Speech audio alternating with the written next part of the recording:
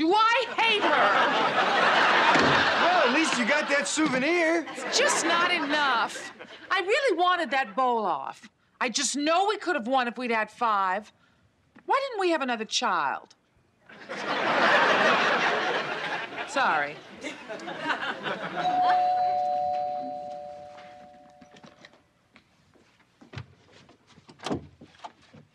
Well, there goes my day. What do you want? Hey, we're friends. Can't we drop over for no reason? No. Why are you here? We set off a bug bomb and can't go back for another 10 minutes. So, what's going on? I'm a little down tonight. I ran into an old friend that I hate more than life. Did you ever go to school with someone who does everything just a little bit better than you do? Barb Linhart. What? My rival was Barb Linhart. It started in kindergarten. I let Don Thudi kiss me on the cheek. She showed him her underpants. First day at gym, I was wearing a t-shirt.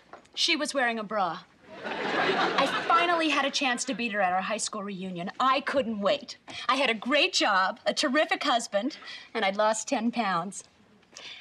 Then she went and died a tragic death, and that's all anyone could talk about. Poor Barb. Poor Barb. They could care less that I was a success. Her decapitation got all of the attention. it was so Barb. God, I hate her. Well, my Barb is Mimi Stotes, and I have finally got a shot at beating her at bowling, and I'm not going to get the chance. I'm one bowler short, and I needed a good one. Done. You know somebody? I sleep with him. Shh. Who? Steve. Oh, Steve? Look at him. His lithe, wiry body was made for bowling. And he does a heck of a little mambo, too. Al, Steve can bowl. You bowl. Well, I, I don't like to brag. Uh, Marcy? He's a wonderful bowler, Al. Well, what do you bowl? Marcy? About 165. Uh, 170. Steve, you're a godsend. I need you to be my ringer. Will you bowl for me Saturday night? If I still can after you let go of me. Thank you, thank you, thank you. It's Saturday night at 8. All you have to do is bowl great and be a Bundy. yeah, right. When I grow fur and marry Cheetah. Not a chance. Besides, no one will believe I'm a Bundy.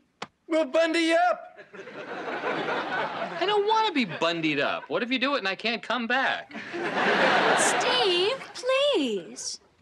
Do it for me, and I'll do it for you.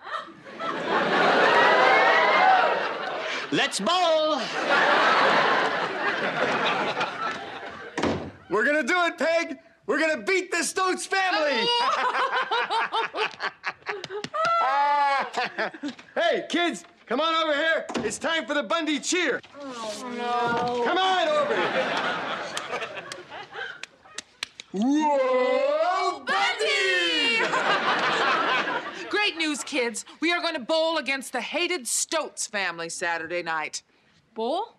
Yes, and we're really looking forward to your 130.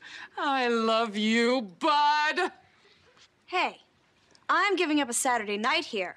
Doesn't anyone love me? Kelly, you bowl is 60. What do you want? Peg, let's go upstairs and call Mimi and tell her the bet's on. Oh, uh, you better dial, because uh, saving my hand for bowling.